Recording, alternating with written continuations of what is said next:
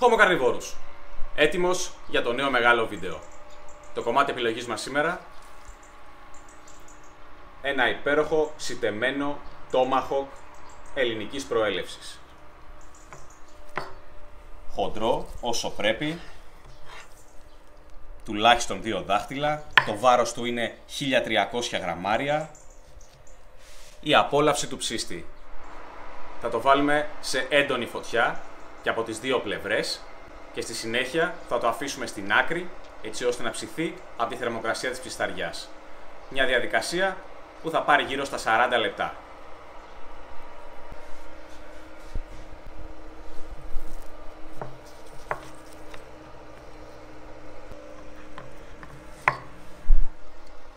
Πάμε να ετοιμάσουμε το κομμάτι. Θα μείνουμε στα πολύ βασικά υλικά. Χοντρό αλάτι,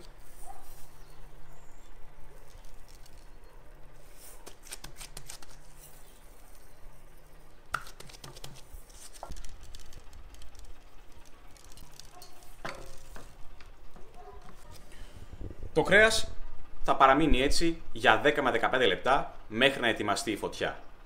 Μετά θα ρίξουμε λίγα μπαχαρικά και θα το βάλουμε απευθείας απάνω.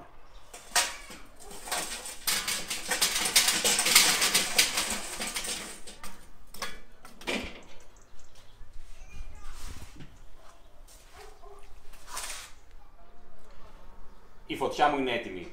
Η μαντεμένια σκάρα είναι αρκετή ώρα απάνω, επομένως καίει ένα μικρό κολπάκι πριν βάλω το κρέας είναι να περάσω πάνω από τη μαντεμένια σχάρα ένα κομμάτι από το λίπος του κρέατος που έχει αφαιρεθεί έτσι ώστε να την αρωματίσω αλλά και να είμαι σίγουρος ότι δεν θα κολλήσει καθόλου το κρέας απάνω όταν θα μπει.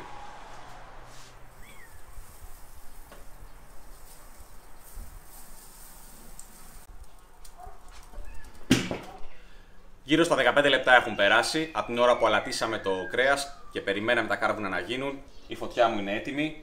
Αυτό που παρατηρούμε όταν αλατίζουμε πρώτα το κρέας και το περιμένουμε είναι ότι το κρέας υδρώνει. Δημιουργείται ένα στρώμα υγρασίας. Πάνω σε αυτό θα ρίξουμε τα μπαχαρικά μας. Μπαχαρικά για μοσχάρι λοιπόν, παντού, απλόχερα. Το κρέας είναι μεγάλο, το κομμάτι είναι χοντρό, μην λυπηθείτε ποτέ τη γεύση.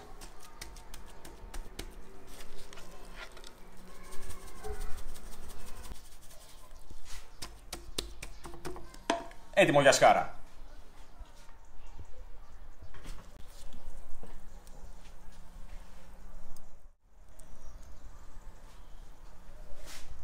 Τέσσερα λεπτά από την κάθε πλευρά. Αυτός ακριβώς είναι ο ήχος που θέλουμε να ακούσουμε όταν βάζουμε την πριζόλα στο μαντέμι.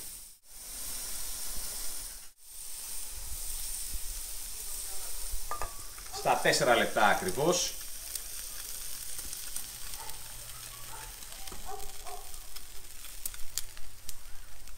Τα σημάδια είναι εμφανή, συνεχίζουμε από την άλλη πλευρά. Πάμε για τον ίδιο ήχο.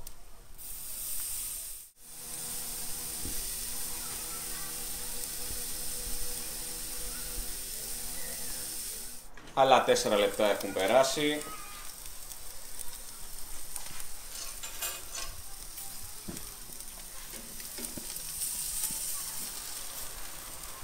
Τώρα θα αφήσουμε το κρέας στην άκρη. Θα προσαρμόσω τη φωτιά μου στη μία μεριά και ακριβώς αντίθετα θα έχω το κρέας. Μέχρι να πιάσει εσωτερική θερμοκρασία 52 βαθμούς. Τότε θα το βγάλω.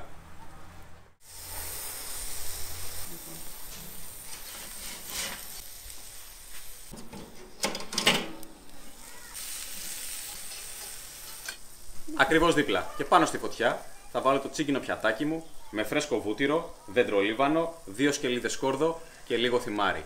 Μόλις λιώσουν και γίνουν ένα, θα κάνω επαλήψεις στη μεγάλη επιφάνεια του κρέατος. Όπως έχουμε πει, ποτέ το κρέα στην τύχη του, ηλεκτρονικό θερμόμετρο στην καρδιά από το πιο παχύ σημείο.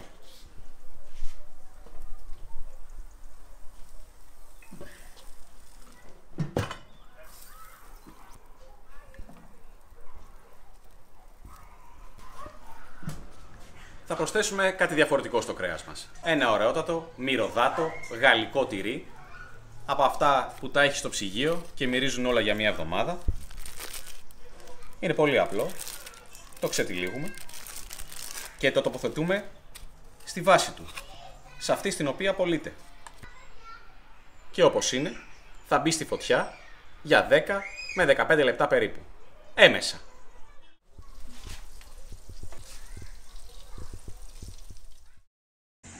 Από τη στιγμή που το κρέας μου έχει εσωτερική θερμοκρασία 52 βαθμούς, θα το αποσύρω από τη φωτιά και θα το αφήσω να ξεκουραστεί για τουλάχιστον 10 λεπτά. Μετά θα το κόψω. Το κρέας μου έχει ξεκουραστεί γύρω στα 10 λεπτά. Το τυράκι μου έχει λιώσει, έτσι νομίζω τουλάχιστον. Πάμε στο τελικό αποτέλεσμα.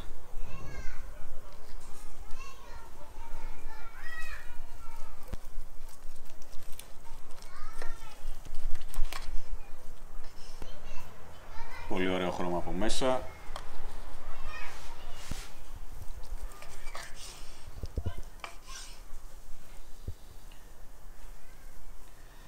Είμαστε σε πολύ καλά επίπεδα.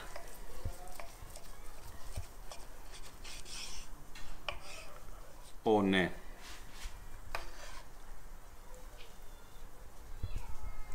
Πολύ ωραίο ροζ. Με ωραιότατη κρούστα απ' έξω. Πολύ ζουμερό. Ένα επιτυχημένο αποτέλεσμα.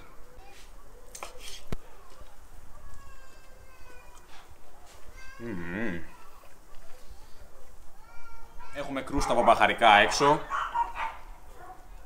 Πολύ έντονη γεύση από το μοσχάρι, από το στεμένο κρέας. Με το λιπάκι του. Κοιτάξτε πόσο ζουμερό είναι. Πόσο ζουμερό είναι.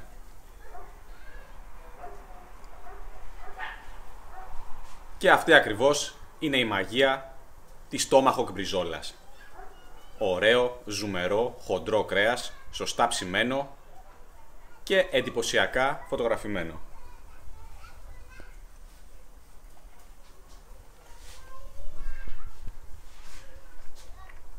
Για να μην ξεχνιόμαστε, το καλό μας camembert, το μυρωδάτο μας τυρί από τη Βόρεια Γαλλία, έχει πραγματικά λιώσει Μια κρεμόδης μάζα, γεμάτη γεύση. Mm. Πιάσαμε κορυφή το Σαββάτο.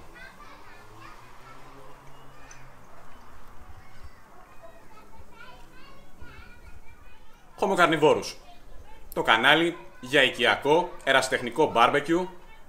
Το κανάλι για βίντεο που μπορείς και εσύ να γυρίσεις στο σπίτι. Για ψησίματα που μπορείς και εσύ να τα κάνεις στην αυλή σου στο έθριο, στο μπαλκόνι σου. Αν σε ενδιαφέρει, κάνε μια εγγραφή, είναι δωρεάν, πάτα και ένα like και εμείς θα συνεχίσουμε να ψήνουμε ό,τι υπάρχει. Και κάτι τελευταίο. Ένα πολύ μεγάλο ευχαριστώ για το καπέλο που φοράω σήμερα όλη μέρα. Να είναι καλά ο Μιχάλης ο Τακτικός, ένας πραγματικός σεφ που ζει και εργάζεται στην Αμερική σε μια από τις πιο απαιτητικές κουζίνες που θα μπορούσε να μπει σεφ μέσα για να διαπρέψει δεν χρειάζεται να πω πού ακριβώς. Μιχάλη, σε ευχαριστώ πάρα πολύ. Ήταν το καλύτερο δώρο που θα μπορούσε να μου στείλεις. Μαζί με την ανασχόλησή σου με το κανάλι μου. Σε ευχαριστώ, με συγκίνησες.